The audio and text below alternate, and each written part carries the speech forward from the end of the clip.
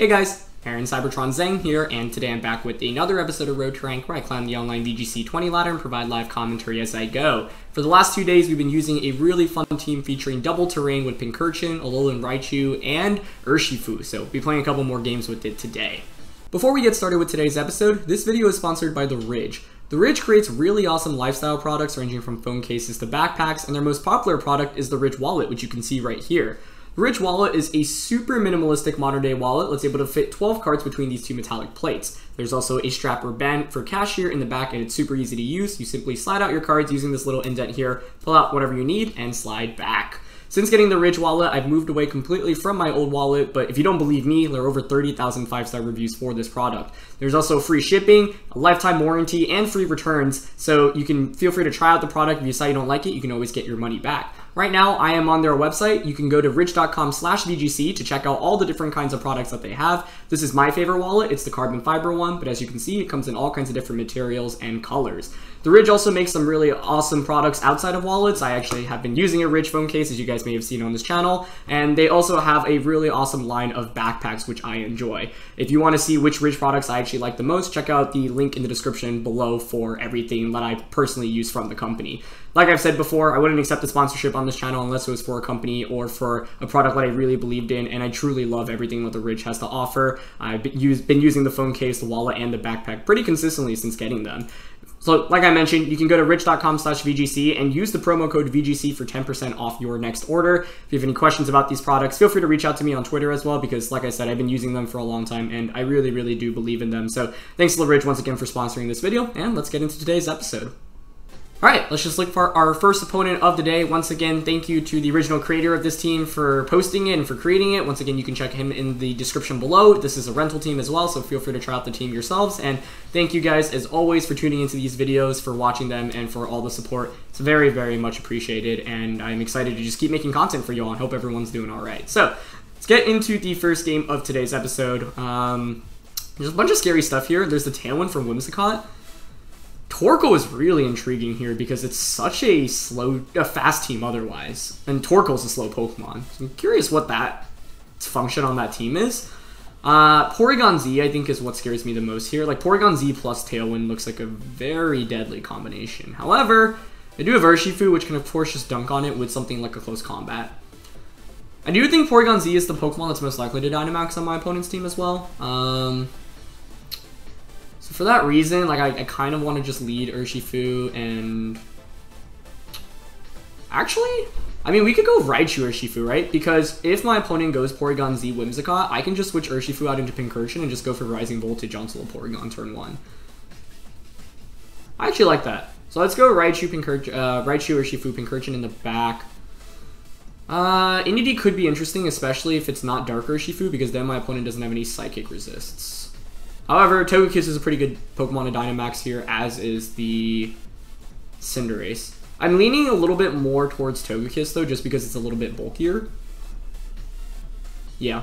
My opponent doesn't have flying resists, right? So a late game Dynamax Togekiss I think could be really, really strong. But either way, cool team from my opponent's end, and let's just jump into today's episode. As always, if you guys enjoy, please show support by leaving a like in the video. I really appreciate it.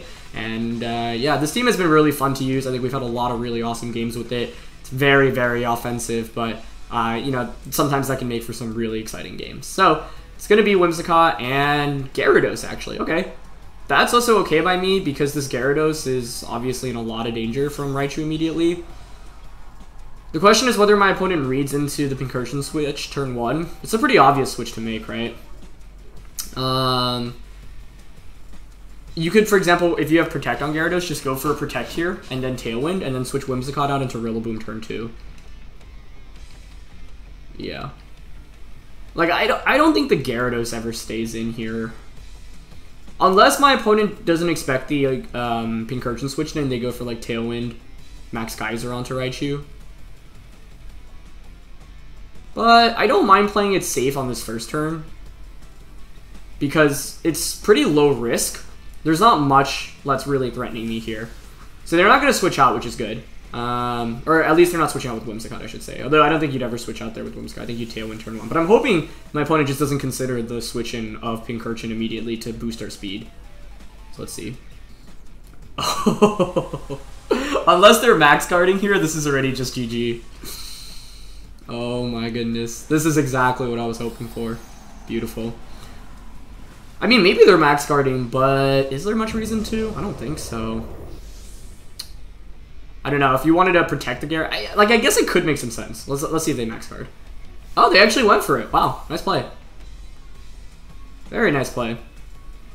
However, I, will still take that because this means my opponent just committed their Dynamax onto Gyarados, right? And that thing doesn't scare me that much. Um, but good play. Yeah, I thought, I mean, why not just protect there, right? That's what I was thinking. So I'm, I'm kind of surprised to see that, but that's fine. Um, now you're definitely going to switch the Whimsicott into the Rillaboom and presumably target the Raichu down. So I'd like to conserve Raichu for post Tailwind, so I'm going to go Raichu into the Urshifu and then just go for a Rising Voltage here into the Gyarados. Like, this is still fine, right? My, yeah, because my opponent has to play, like, has to switch out into Rillaboom here. Yep, exactly. And they have to target the Raichu slot, I think. But, nice play turn one. I, yeah, I really thought you would just go for a Protector, but I guess my opponent was afraid of, like, a Max Raichu going into the Gyarados slot. So had I stayed in with the Urshifu, that would have been really sick, but I, I, still don't regret that play turn one because the worst case was what happened, and I still don't think that's even that bad for us here. Okay, Geyser comes out. Targets Pincurchin, actually. Wow, that's a one-hit KO? I wasn't expecting that. Okay. I think I kind of underestimated Gyarados there. I thought we would be able to survive that. It's Life Orb, too. Uh... That was a nice play by my opponent. Maybe I could have just stayed in with both Pokemon, to be honest. I think the Raichu switch out was maybe a little too obvious. I, I didn't think Pincurchin would go down, but maybe that's because I wasn't expecting the Life Orb damage either. And obviously, it is Life Orb. Um, that being said... Yeah, I mean, obviously I want to max Togekiss now, but the question... Like, I might consider max guarding, right? Because my opponent's already committed Dynamax turns. And I think Togekiss can sweep through my opponent in the late game. It's just, there's also reason to not max guard. Um, I think we protect the Urshifu here for sure. Max and just try to pick up knockouts. Just go for an Airstream onto Rillaboom. Because the Raichu will obviously beat the Gyarados in the late game. So if I can just pick up knockouts now and start uh, getting the ball rolling with Togekiss, which obviously has a favorable matchup against Whimsicott, Gyarados, and Urshifu, then you know, we'll be able to do a lot of damage. The only thing is that I'll take a lot of damage from a Max Geyser boosted by Life Orb in the Rain, So that would have been the only reason to have Max Guarded here. The more I think about it, the more I think it's better to Max Guard. Just because the Geyser itself is a lot of damage onto Togekiss. So, yeah. Nice Protect turn one.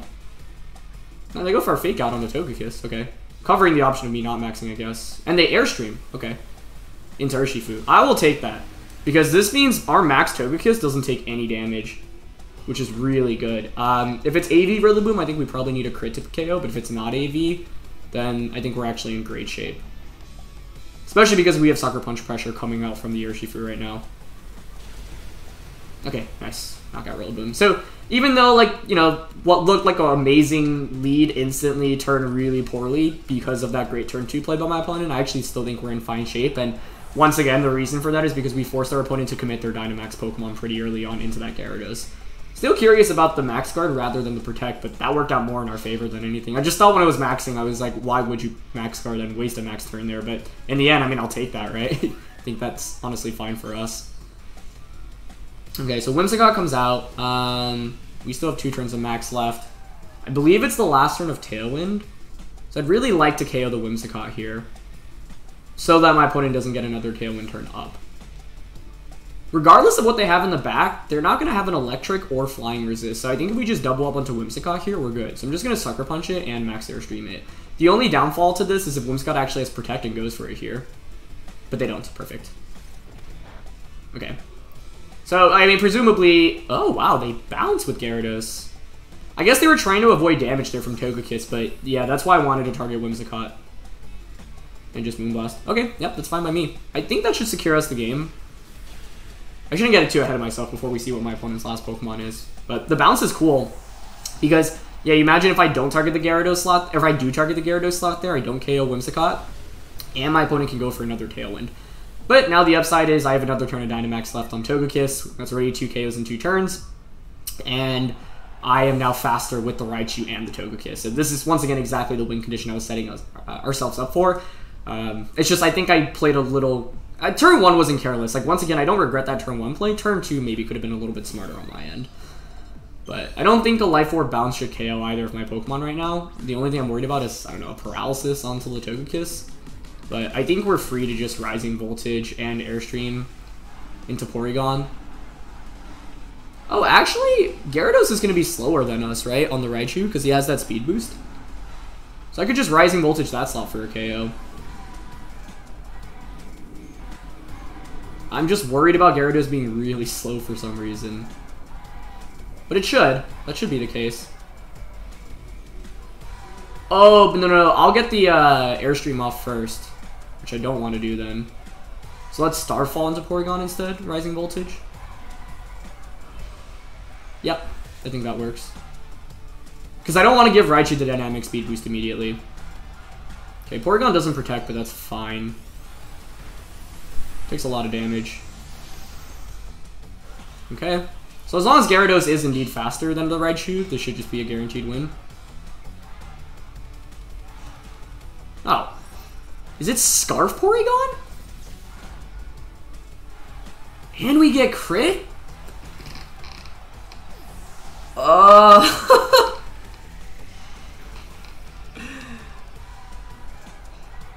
I I guess that's the one option I should have considered. Scarf Porygon. Oh my gosh. Then I kind of tossed... Is there a reason not to have doubled up into Porygon then? I don't think you KO without a Life Orb either. Um,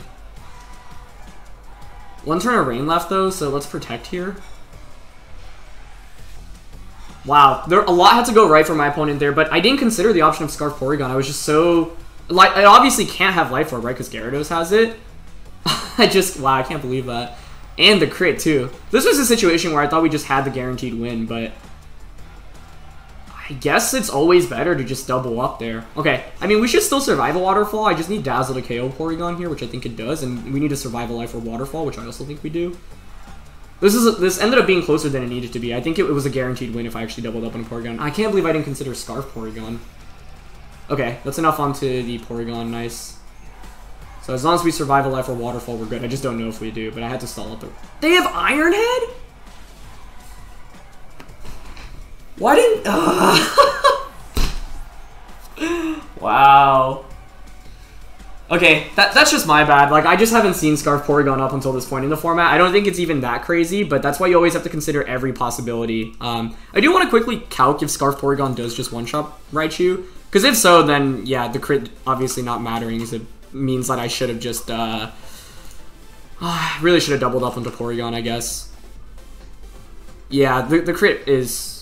It, you have a slight chance to KO us, but it, it's an 18.8% chance, even if you're modest max with Tri Attack. So, yeah, my opponent needed the crit, and then they needed, uh... It was just the crit. See, if we Airstream there, then we, we ensure let the Raichu outspeed. So I should have just gone for the original play, which was Airstream Rising Voltage into the Porygon, because even if Porygon protects there, Gyarados bounces into the Togekiss or the Raichu, you don't KO either of those, and even if you paralyze the Togekiss, we're at plus 3 speed. So that was actually kind of a throw. Like, I think it's a guaranteed win if we double up on Porygon. So that goes to show how you need to always consider what items your opponents can have. I just... Yeah, I mean, like, with Porygon, I just always assume Life Orb, and it's obvious that Gyarados didn't have, like, Gyarados had the Life Orb, so Porygon couldn't have it, so I, I should have, like, thought more about what item could have we could have lost to there. So it's, like, a very specific scenario. Like, my opponent needed to have the scarf and they needed to either get a high roll or get a critical hit there, and unfortunately they got both. Um, but we had a guaranteed win if we just double up onto Porygon, so not a game.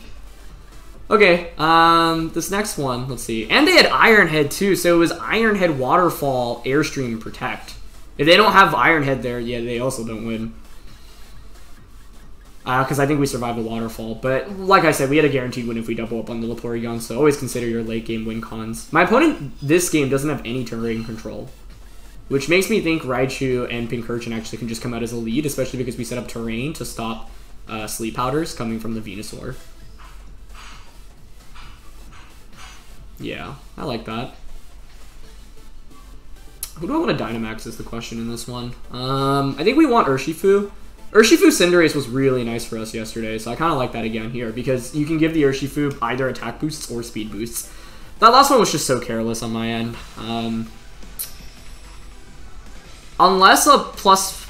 Unless... No, I mean, you weren't even boosted on Gyarados. Yeah, I, I did need to respect the Gyarados there. And, like, Porygon Z potentially could have Trick Room as well. Uh, yeah. I mean, if it Trick Room's there, it doesn't matter. Like, I had to have Scarf, but I just needed to respect the Scarf option, and I didn't, and I get punished for it, which is totally my bad. Okay, Torkoal and Venusaur, which is fine by me, because we get the terrain up immediately, which is already a good start. The question is, do you Dynamax the, um, Venusaur and, like, Max Quake? That could make sense.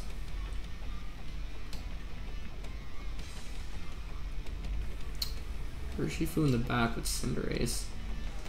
I'd love to Rising Voltage in a Torkoal, but that's so obvious, right? So I'm thinking of actually expanding Force into Venusaur and Rising Voltage into it.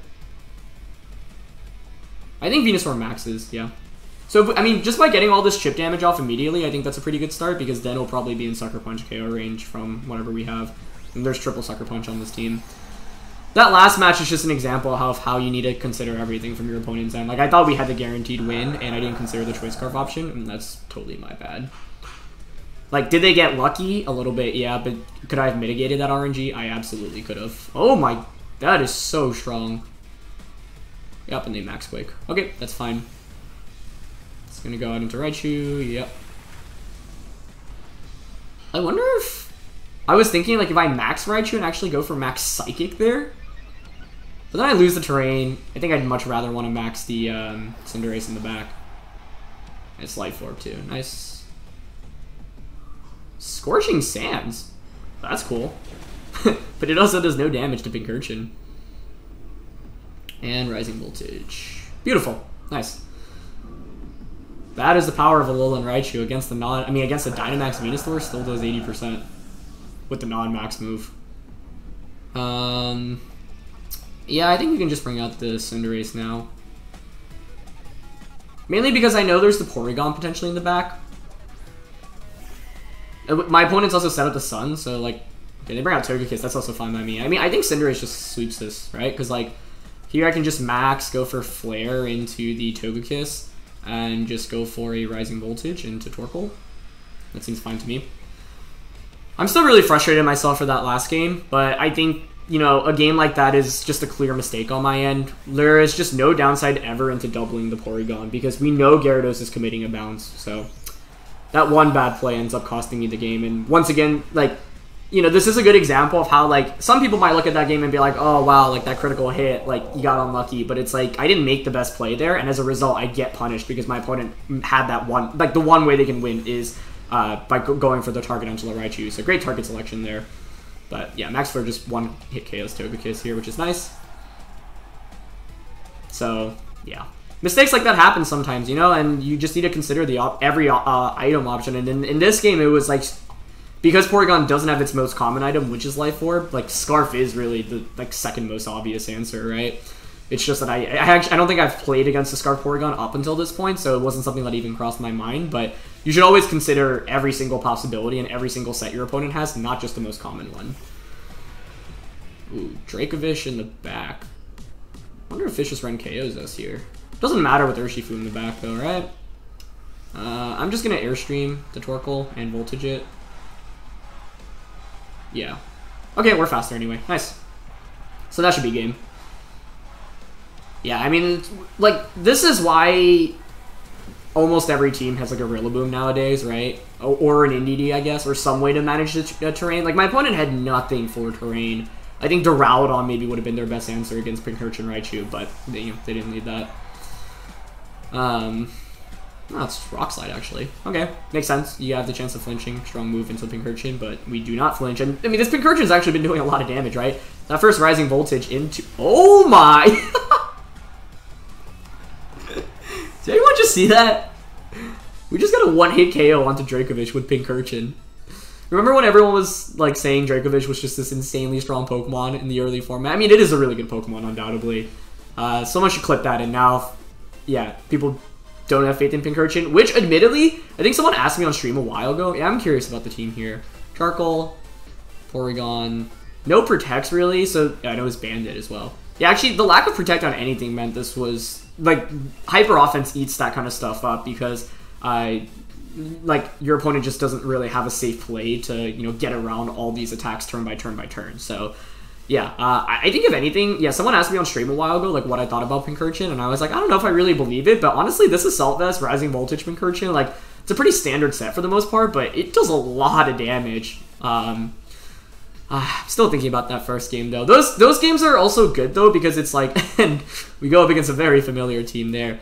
The games like the first one are good in the sense that is it frustrating to lose, especially when you kind of like uh, make a major misplay in the end and you get unlucky. Yes, but at least you know there's a very clear like you know correction that I could have made to have done better. Okay, so we're going up against Hail. We know what this team has. Rillaboom, gonna be essential. We know the Sandslash doesn't have Max Quake, which is in our favor here. I mean, Raichu one-shots almost everything. Um, I have to respect Gothitelle trapping us in, because to me, that's like one of the strongest modes on that team. Togekiss is interesting, even though there's double ice. As is Cinderace. Actually, I really like Cinderace plus Raichu with the pink pivot into Pincurchin because the only thing my Cinderace doesn't really want to go up against is the opposing Cinderace, which Raichu can just destroy, right? my opponent leads anything but Cinderace, we can just max and go to town from there. Um, last one's between Urshifu. Urshifu is interesting here, or Togekiss. I don't think I bring it. I, I barely bring Indeedee with this team. It's by far the least common Pokemon. Hmm. Honestly, I like Urshifu as a late game pin here against my opponent's team, because I don't know if Togekiss really provides that much value anyway, and I think going for even priority sucker punches are really nice against this team, so let's see. Still thinking about that ending of that first game. Um, yeah, there's just no world in which we don't double up into the, the Porygon. Ninetales Rillaboom, okay.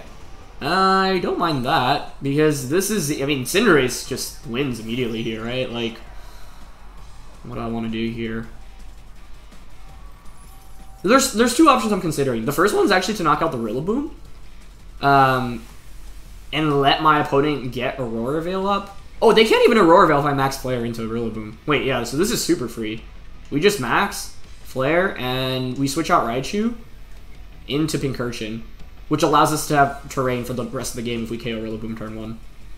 Yeah this was kind of the problem that I had with that team when playing with it, is that Ninetales is just so, so bad if you don't have weather control, and almost, I mean, every team in this metagame has some way to control the weather, whether it's a Pokemon that has an ability like can change it, like Tyranitar, or if it's just a Pokemon that has, you know, an attack, like Max Flare, Max Geyser, uh, Max Rockfall. So this puts us in a great position, right? Because we get the sun up, we change the terrain, which means Raichu is uh, primed to sweep in the late game. And the only resist that my opponent has to Raichu is this Rillaboom. Okay. They actually don't go for uh, Grassy Glide, which I was kind of expecting. Oh, actually they might have, right? I changed the terrain. Nice. Yeah, that's why I switched into the... I, I don't want Raichu taking damage there, because the Grassy Glide, boosted by Grassy Terrain, honestly might do enough to, like, maybe not knock us out, but it would do a lot. So, like, what, what can Ninetales do here? At best, Aurora Veil? Yeah.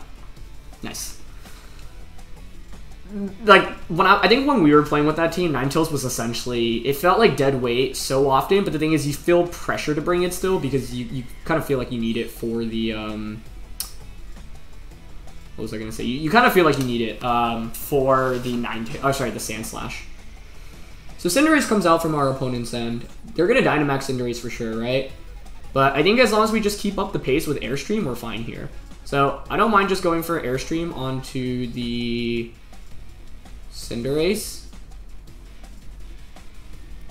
And just Rising Voltage it. Like, if I'm my opponent, I switch Ninetales out here into Sandslash, or maybe Primarina. See what it is. Yep. So, like, at this point, Raichu just hard wins the game, right? Because we have terrain control. Uh, if you max the Cinderace, you can't control the terrain with that. So then I just bring in Raichu and just Rising Voltage everything. So I think we're in good shape. Which is why the lead was so important. Uh, and that's why, like, yeah, if you lead Rillaboom into this team, I, am never leading with terrain unless you have terrain, pretty much. Uh, unless I'm making, like, a super, super hard read. So This puts us in a really good spot, regardless of who Cinderace targets, even if we lose the speed tie. We even end up going first, which is nice. Um, I was thinking if there's a world in which that works against us. Be oh, actually, yeah. Okay, it doesn't end up mattering here anyway, because Airstream just does so much damage. I was saying the world in which it works uh, against us is if they G-Max Pyro Ball into our Cinderace, because Sun is up. That probably is just a knockout, but then uh, Pincurchin just KOs with the Rising Voltage, so it's fine. But they target Pincurchin. Nice. Yeah, so I, I, think we pretty much locked our opponent in here. There was really no way around it. Um, yeah, now I just get Raichu out and click Rising Voltage a bunch. So, yeah, this Raichu can just be so good in the late game as a sweeper. Uh, it's just rare to see that happen because obviously we're leading with it the majority of the time. Uh, part of me wanted to go for Max Dark. Nah, there's no value there. Let's just Airstream into Cinderace. That should be a KO. And Rising Voltage into Primarina. The Primarinas have Salt Vest, I believe, but with Terrain up and Primarina being grounded, it should just be a one-hit KO still. And someone someone uh, very smartly pointed out the fact that I miscalced against Togekiss one of the previous episodes where I was like, oh, it's really bulky, but Rising Voltage works if your opponent is grounded, uh, where you get that, that special uh, extra boost if they're grounded to be honest, I, I, don't really know what how my opponent really beats this team. Um, and that was kind of the struggle that I had when I was using the Ninetales Sandslash team. Um, like, it feels like it can't put on pressure immediately because the support for Cinderace, which is a Pokemon often maxes, isn't that great. I think, yeah, I mean, you could lead Ninetales Sandslash, but then it's like, do you max the Sandslash? Probably not, right? Like, I could just go into Pincurchin, Rising Voltage turn one. And actually, I think one thing I really like about this team is just the number of Sucker Punches, because it's so easy to bring a Pokemon down to Sash with this team. With this team, um, whether it's just a you know max move from Cinderace or Rising Voltage from the Raichu. If you bring something down to its Sash, then something even like Pincurchin can just finish off uh, and get the final blow off. So nice. Um, might as well just Sucker Punch here. And Rising Voltage. Yeah, and this is uh, the value of having G-Max, or sorry, the regular Cinderace over G-Max Cinderace for weather control, right? I, I, think a lot of players kind of looked at this team and were like, why run regular Cinderace over Gmax Cinderace? Uh, and I think in one of the games we've had, uh, there was one in which like the extra damage output from uh, Gmax would have been better. But what's interesting about regular Cinderace is like, yeah, you lose a little bit of damage, but then that fire damage uh, becomes increased in subsequent turns because the sun is up. Uh, and of course, you also are able to change the weather, which was really valuable in that last game. No terrain control once again. Wow. That's what we like to see with this team. I'll take it.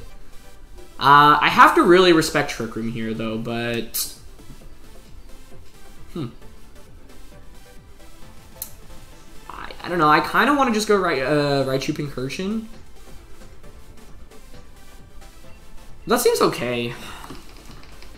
One thing, what I'm about to suggest might sound crazy, but we could potentially Dynamax Pincurchin depending on what my opponent leads with. I guess my only fear is that they lead Hitmontop and uh, Porygon. Um, is that like a pretty surefire way of setting up Trick Room? One way I could get around that is like Indeedee Cinderace. Because I set up Terrain, you can't Fake Out, and I can Expanding Force Max Knuckle turn one. Or High Jump Kick uh, Expanding Force. Huh. I'm actually considering that.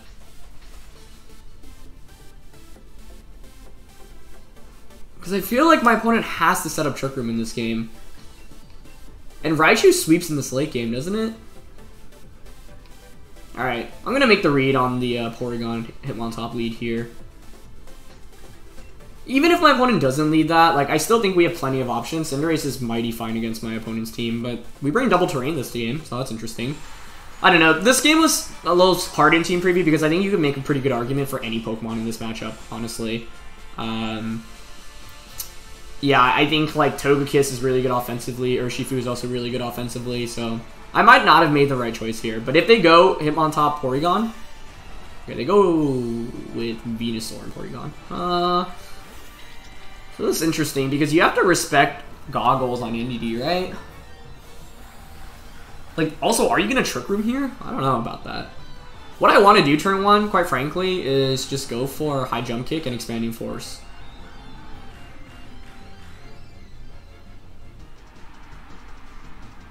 I, I want damage onto Porygon. That's the main reason I want to go for this play.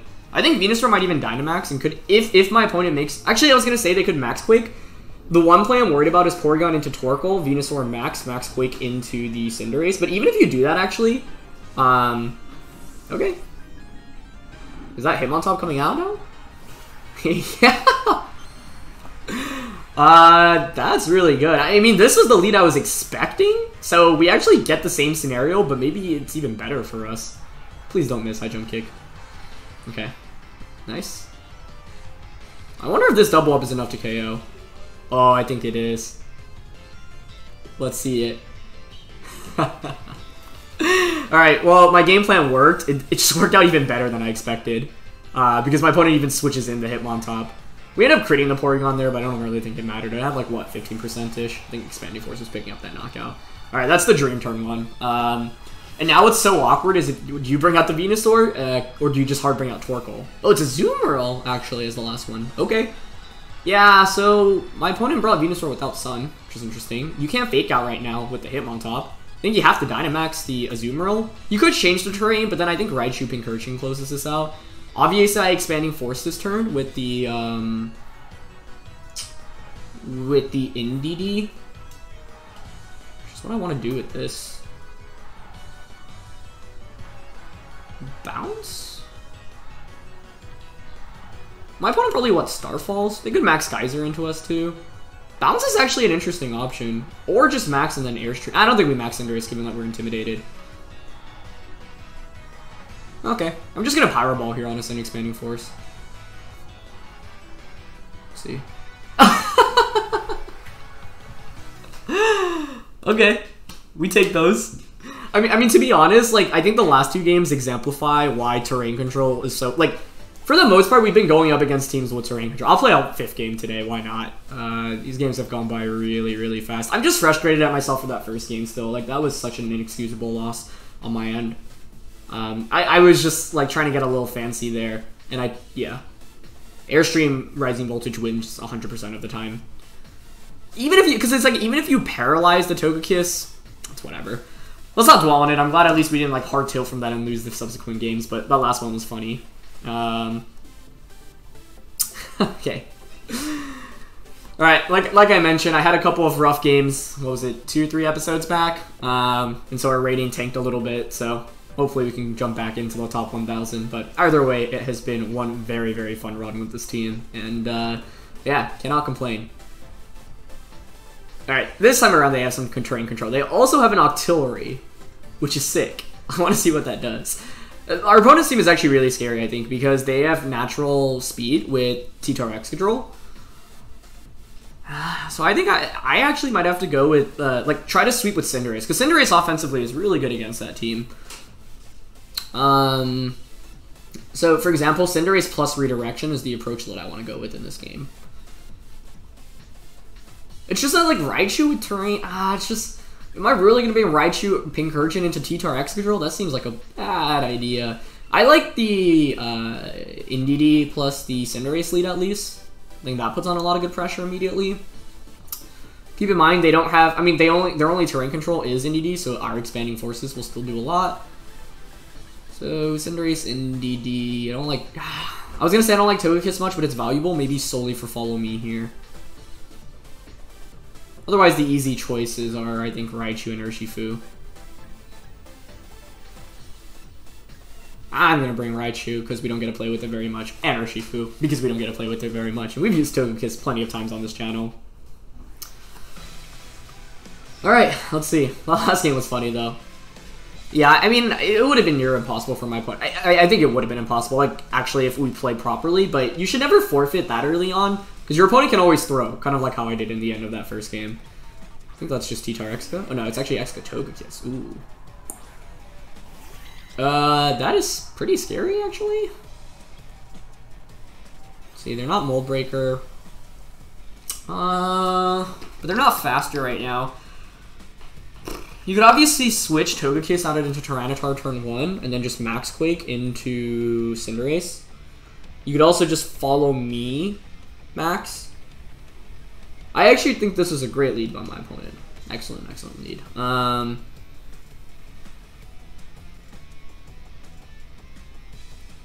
I mean, I, I kind of feel obligated to follow me here, which I don't have a safe play turn one, which I hate. I, if I'm my opponent, I don't know. I, I think Togekiss probably follow me's. I'm going to play as safe as possible, at least this turn. Uh, I'm actually going to Airstream into Excadrill to break a potential Sash and follow me. The thing is, this is not like ever a super safe play, but it covers for both options. Okay, Togekiss is going to stay in, so that's indicating to me follow me. It also allows me to change my typing. Oh, actually, because I was changing my typing... No, I still needed to follow me in case Togekiss switched out into Tyranitar, because then you can just go for Max Quake. I just think this plays a little bit too safe, because I don't think you ever hard risk, uh, risk a Max Quake into Cinderace turn 1. Although, that being said, still a relatively safe play. Let's see if Excadrill maxes. Yeah, it doesn't... Whoa, what? Okay. Huh. I didn't expect that. I if based on how my opponent played that turn one, it should be a Swords Dance coming out from Excadrill. But the upside is now I can just go for another Ash, uh, Max Airstream and I'll outspeed Excadrill, even if you switch in Sand.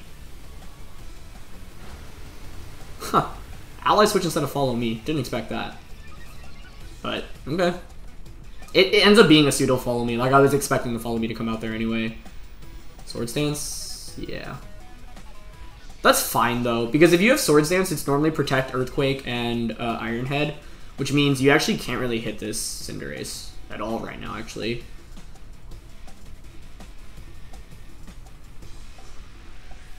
I think it's better to just play safe here and Airstream into Togekiss. Togekiss could Protect here, but that's fine, I think. I'm just gonna follow me here. Once again, like... Oh, I didn't need to follow me there. I didn't need to follow me there. Because if you switch into Tyranitar, you're to outspeed the Cinderace. So that was a free expanding force. Yeah. You can see how these like little small things can really make a big deal throughout, you know, the course of a matchup. Like, if I expanding force there, I break Excadrill's Focus Sash, which means... And it does a lot of damage to single target Excadrill, right? So that was a major mistake on my end. Oh, they actually have Rock Slide? Wow. Okay, so I guess because Rock Slide then, they, they clearly don't have Protector Max Guard, which might actually work out in our favor, because now we can just Helping Hand Max Flare into Excadrill. Oh, they're bringing in Clef. Huh. That's a threat. Uh, that's actually a really, really good bring.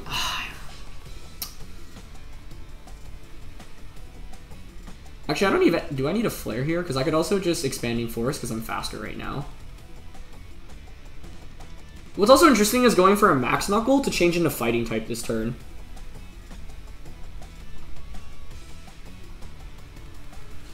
I think I'd rather just get a KO onto the Clefairy.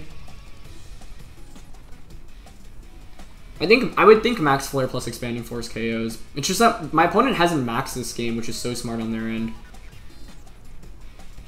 But I have Urshifu in the back, right? That was a great decision not to max last turn. Oh, but Clef protects, and Excadrill doesn't protect. Wait, I, th I think we just stole the game back. Yeah, this is why you always target the non the non follow me Pokemon. Yeah, this should just be a KO with expanding force. Oh, it's not even Sash. Okay. Wow, I mean, I really messed up by going for the air, uh, follow me well, it's not an entire mess up because I guess my opponent could have max Excadrill and gone for max Rockfall. But yeah, that's uh, this is a good lesson in why, like, yeah, if you're ever, especially against Clefairy, right? Because Clefairy has no offensive pressure whatsoever, so players are almost always going to want to just click something like Protect. Go for Helping Hand as well, but in that slot, if I do double up into Clefairy and Excadrill gets an attack off, that's very scary. Now all we need to do is knock out the Clefairy, and Urshifu just hard wins against Tyranitar. And we have Focus Blast Raichu in the back.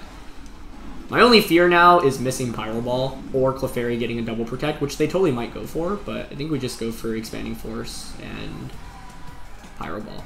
They're, like, I could Helping Hand here, but I'd rather Expanding Force than the off chance Pyro Ball misses. And our opponent actually forfeits, but I don't think they needed to there, because one win con is you um, double protect Clefairy, Rock Slide double KOs us, and then you die to Max Tyranitar in the late game. So, yeah, a bunch of early forfeits today from our opponents. I think it's just like we we've often like brought the momentum so much in our favor that it's hard to come back from. But That being said, I think a lot of these games are still winnable from our opponent's end. It's just that they have to really dig themselves out of a hole. They need to make every prediction correctly or hope for us to throw. But as you guys saw in that first game, you know, our opponent didn't give up and they had that one win con, which is me not knocking out Porygon, Porygon then knocking out Raichu. And I just didn't read enough into that. So we end up going four and one, and I mean that first game totally should have been a win as well if I just double up into the Porygon. Um, you know, I'm, I'm not talking about the crit once again because it's like I deserve to lose given that I made the suboptimal play. So always consider what your most optimal play is at every position in the game, even if it feels like you're in a really advantageous position.